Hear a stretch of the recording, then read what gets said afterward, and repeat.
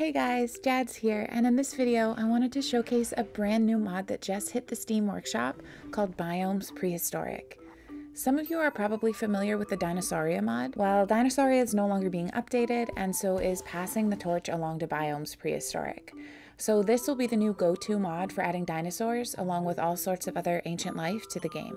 This mod is made by the Biomes team that also made the Islands mod that I featured in another video and that I used in my Tundra Island Architects playthrough. So the main thing that this mod does is add prehistoric animals. Now, when I say prehistoric, I mean species from before humans were around, and that's it. So I don't want to see any critiques in the comments that many of these species didn't exist at the same time IRL. I know, the modders know. The idea is just to give it a cool prehistoric feel. Most of these added species are dinosaurs, though there are several other animal types added. The mod also revamps the different vanilla biomes by adding a ton of new plant life to the game, which gives your map tile a very Jurassic or Triassic or Cretaceous feel. It also adds a full new soundtrack. The work that went into adding these new prehistoric animals is truly impressive. As of right now, there have been 51 land species added, 13 aquatic species, and 4 pterosaurs, which are like flying dinosaurs. Each new species has a specific diet and trainability level. Many are considered livestock by the game and will require a pen, but others have advanced trainability. A number of them can be used as pack animals during caravans as well, which is awesome. So right now, I'm just giving a super quick preview of the different species added.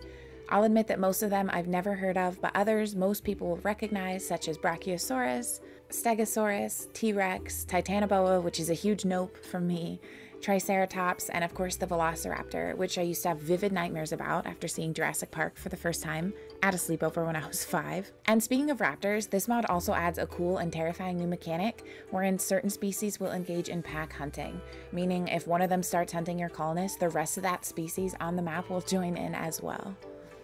The aquatic species added will at the moment only spawn if you also have the Biomes Islands mod that adds a bunch of aquatic new animals. The aquatic species include some fish and cute little guys like ammonites and trilobites, along with some absolute nightmare fuel, such as the Mosasaurus, which doesn't look that nightmarish in this game, but Google it, I assure you. With new species, of course, we also have new materials added to the game, including different thicknesses of dinosaur hide and some new meat types as well. All dinosaurs lay eggs, and tame raptors can be periodically sheared to acquire feathers. Some dinosaurs drop trophies your pawns can use as melee weapons or helmets as well.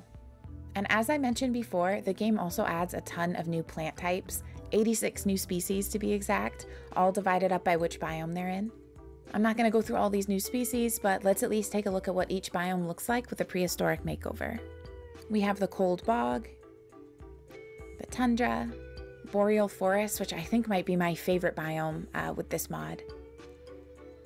Temperate swamp, temperate forest, tropical swamp, tropical rainforest, arid shrubland, desert, which doesn't seem that much different because there's already so few plants, and extreme desert, which if you find a plant on here, chances are it will be a new one added by the mod, and then sea ice and ice sheet remain unchanged. So there you have it for a quick first look at this awesome new biomes mod. I started a new playthrough using this mod uh, yesterday, and all my people died like within two hours. but I feel like an army of trained velociraptors would be a great colony defense system.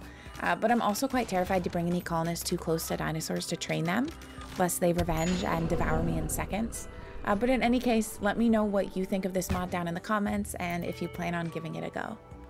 As always, thank you so much for watching, and I'll see you soon.